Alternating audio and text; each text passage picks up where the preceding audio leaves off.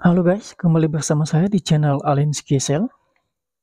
Kita kedatangan HP dengan tipe Vivo V15. Ya, ini dia guys, Vivo V15 dengan kondisi layar LCD-nya itu tampilan layarnya hitam sebelah. Ya. Dan customer minta ganti LCD baru.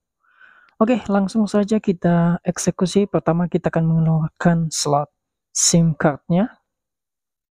Selanjutnya kita menggunakan bantuan blower untuk membuka casing atau cover belakang dari Vivo V15 ini guys. Ya, ini dia guys. Selanjutnya kita menggunakan bantuan congkel LCD ya untuk membuka cover dari casing belakang Vivo V15 ini guys.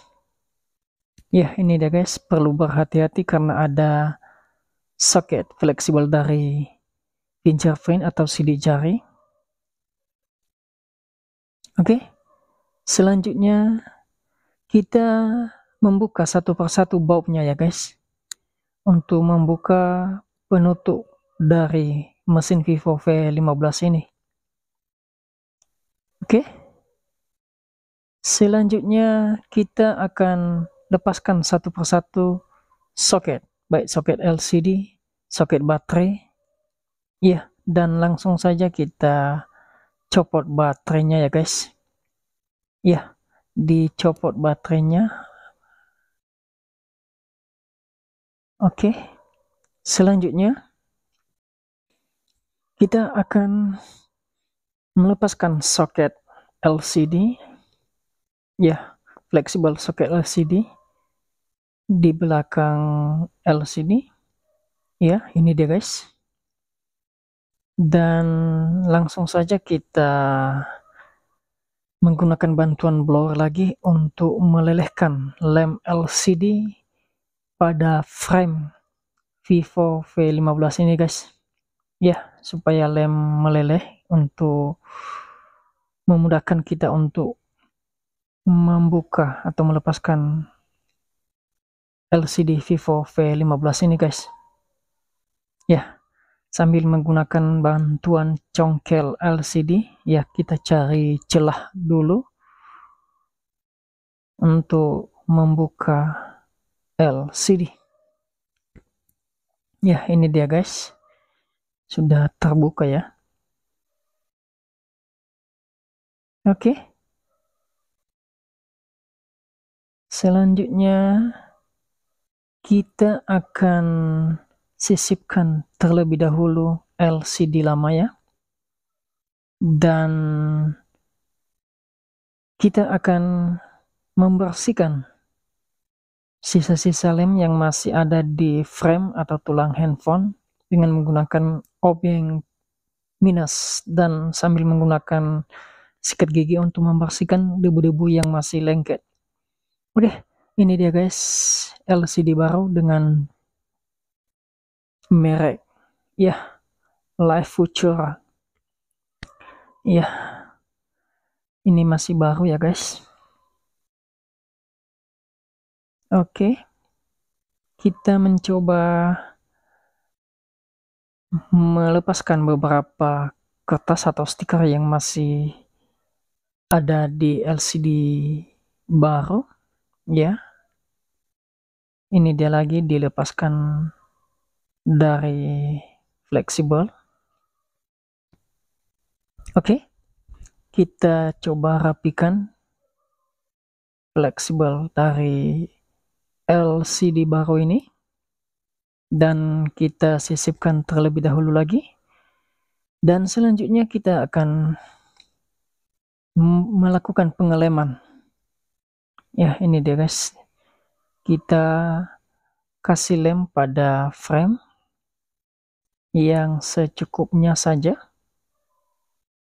Ya setelah diberikan lem pada frame dan langsung saja kita pasang LCD baru pada frame Vivo V15 ini guys. Ya sambil dirapikan dan juga sambil dierat-erat ya supaya bagus dan presisi ya supaya rapi. Oke setelah itu kita menggunakan bantuan karet untuk merekatkan LCD dan framenya. Ya ini deh guys. Diberikan bantuan karet gelang untuk merekatkan LCD dan kita akan mencoba untuk menunggu sekitar kurang lebih 15 menit untuk menunggu pengeringan lem LCD ini guys supaya LCD dan framenya itu bisa menyatu dan langsung saja video ini saya skip saja guys untuk mengurangi durasi waktu yang panjang. Oke setelah 15 menit kita akan mencoba melepaskan karet gelang itu satu persatu lagi guys. Dan selanjutnya kita akan pasang soket LCD dan juga kita langsung pasang juga baterainya beserta soket baterainya. Oke, kita mencoba menekan tombol power. Apakah berhasil atau enggak? Ya, ternyata ada logo Vivo.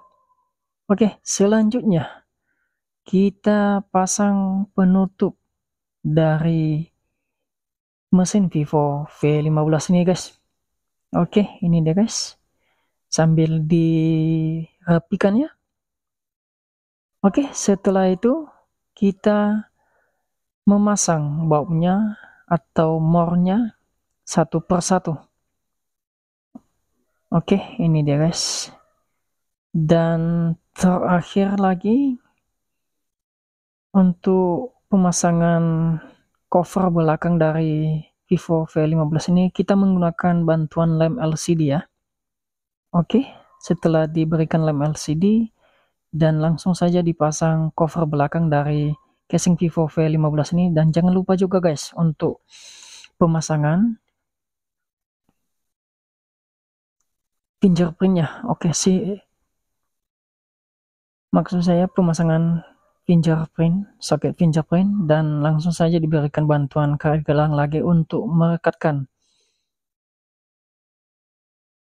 cover belakang dari casing Vivo V15 ini guys. Dan terakhir kita pasang slot SIM cardnya. Oke sudah selesai guys. Oke demikian tutorial dari Alien Skisel salam teknisi Nias. Terima kasih. Sampai jumpa